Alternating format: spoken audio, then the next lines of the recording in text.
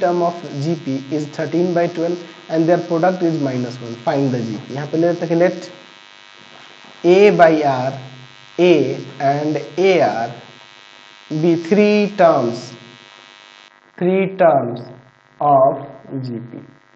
ठीक है ना जी अकॉर्डिंग टू क्वेश्चन इनका प्रोडक्ट यानी कि A by R A and A R equal to minus one यहाँ से आर से R cancel A cube equal to minus one का क्यूब नहीं कर सकते हैं तो यहाँ से ए का वैल्यू वन माइनस वन आ जाएगा। अब नाउ इनका सम जो दिया है है ना सम दिया है थर्टीन बाई ट्वेल्व यानी कि ए बाई आर ए और ए आर का सम जो है थर्टीन बाई ट्वेल्व है।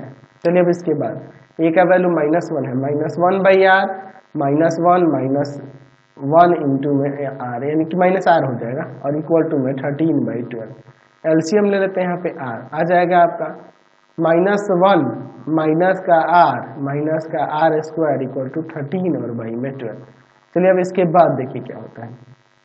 थर्टीन आर और इधर मल्टीप्लाई करेंगे। माइनस का ट्वेल्व माइनस का ट्वेल्व आर माइनस का ट्वेल्व आर स्क्वायर सबको एक तरफ़ ट्वेल्व आर स्क्वायर प्लस का ट्वेल्व आर प्लस का ट्वेल्व प्लस का थर्टीन आर इक्वल टू में ज़ीरो अब इसके बाद हम लोग यहाँ पर देखते हैं क्या होता है।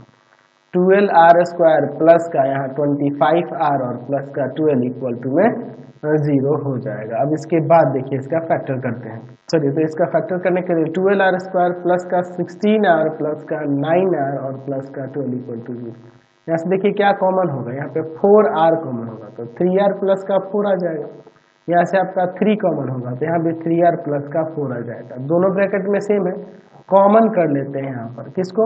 थ्री आर प्लस के फोर तो आ जाएगा यहाँ पे टू फोर आर प्लस का थ्री इक्वल टू में ज़ीरो अलग अलग कर लेंगे थ्री आर प्लस का फोर इक्वल टू में ज़ीरो और फोर आर प्लस का थ्री इक्वल टू में ज़ीरो यहाँ से three R equal to minus का फोर यानी R equal to minus four by three यहाँ से four R equal to minus का थ्री यानी आर इक्वल टू में माइनस थ्री बाई फोर चलिए अब इसके बाद हम लोग आगे देखते हैं। तो अब इसके बाद केस फ़र्स्ट लेते हैं। Case first when A equal to minus one और R equal to minus four by three तो फ़र्स्ट टर्म क्या होगा?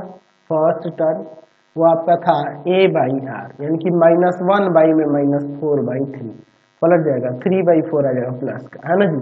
फिर उसके बाद देखते हैं सेकेंड टर्म सेकेंड टर्म क्या होगा? तो सेकेंड टर्म तो आपका ए था जो कि है माइनस का वन चलिए अब थर्ड टर्म देखते हैं थर्ड टर्म थर्ड टर्म क्या होगा? तो थर्ड टर्म क्या था? ए आर यानी कि माइनस वन इंटू में फोर माइनस का फोर बाई थ्री ये प्लस का फोर बाई थ्री हो जाएगा, ठीक है? चलिए अब इसके बाद हम लोग देखते हैं। अब केस सेकेंड देखते हैं। Case second when A equal to में माइनस का वन और आर इक्वल टू में माइनस का थ्री बाई फोर चलिए तो यहाँ से देखिए अब। फ़र्स्ट टर्म क्या होगा? ए बाई आर यानी कि आ जाएगा minus one by minus three by four equal to में आ जाएगा फोर बाई थ्री ठीक है ना जी? चलिए, अब इसके बाद देखते हैं। हम लोग सेकेंड टर्म सेकेंड टर्म क्या होगा?